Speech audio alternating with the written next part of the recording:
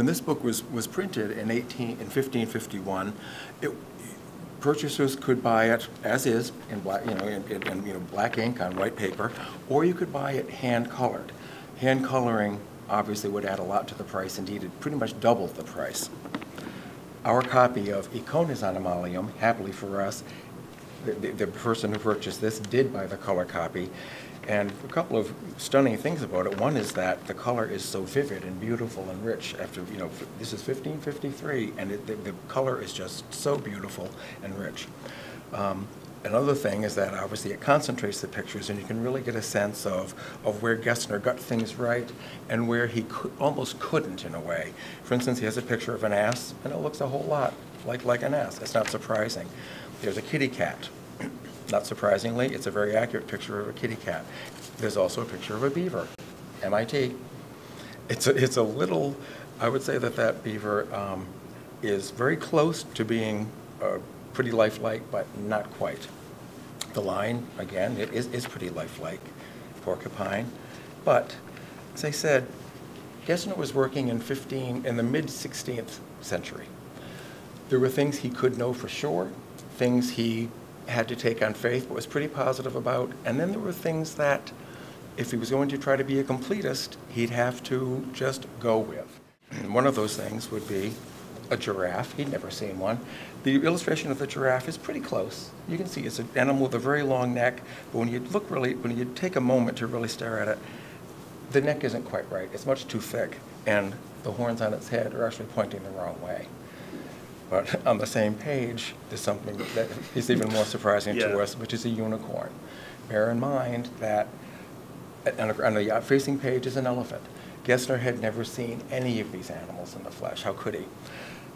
The giraffe is close. The elephant isn't quite accurate. The ear is wrong. The the trunk, trunk, the trunk is attached in a funny way.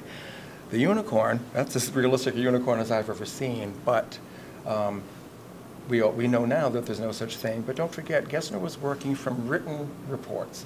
What had, what had been written about in his, through the history of, of, uh, of reliable reporting? Well, unicorns turned up a lot in various kinds, in various literature, and even in, uh, in some religious texts. We shouldn't really be shocked that there's a unicorn in here. There it is. I was actually, if you hadn't mentioned, I was going to ask you if there were, if he had included unicorns. Indeed, he did, yep. Um, He, as I mentioned that he, that while Gessner could draw, he wasn't an artist himself, and in any case wasn't interested in spending his time doing the art. Um, Book illustration in the mid-16th century was, it was kind of, it was the, what I'd call the Wild West. If you found, if someone had already drawn a picture of a certain thing, and you wanted to- that picture in your book, copy it and put it in your book. The idea of intellectual property, it- it it had no currency at all. This image here of this rhinoceros may look familiar. This is actually a, a, a, an, an engraving by the great Albrecht Dürer, a very uh, important artist. It's a, widely known image today, and the, they needed a picture of a rhinoceros. They took one. It existed, and I dare say that you know Dürer and Dürer's estate received no income from their use of that image. Another couple of really interesting uh, animals that appear in here are, there's also, there's also this. This is a monster. It's simply a monster, as you can see. It has Yeah. three breasts. It has the, its front, it has the sort of the paws of some kind of animal. Its back feet are bird-like. It has a hideous face, a strange, a strange body. And this text, this, this, this brief uh, excerpt of text, says that this was reported in the, in the, in a forest somewhere near Salzburg, but apparently the person who reported it was considered reliable by Gessner. He included the animal in here. Again, he was attempting to be a completist. He wanted to be comprehensive in what he, in what he, in what he presented to the world. Um, it was a you know, kind of a heroic undertaking, actually. In- inevitably, there would be mistakes that, that he couldn't possibly realize were, were mistaken at the time. Um, These, uh, what else shall I, shall I say about this? The horse, again, beautifully realistic. This illustration of dogs is, is notable. Apparently, it's the first time that anyone had illustrated dogs, several breeds of dogs at once. I think part of the, part of the idea is simply that uh, these are all dogs. They're very different from one another, but we know them all. We all realize that they are all dogs. This, the binding of our Icones volume is kind of nice.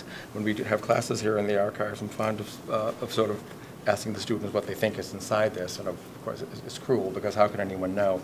This is sort of typical, too, for some of our early books, for anyone's early books.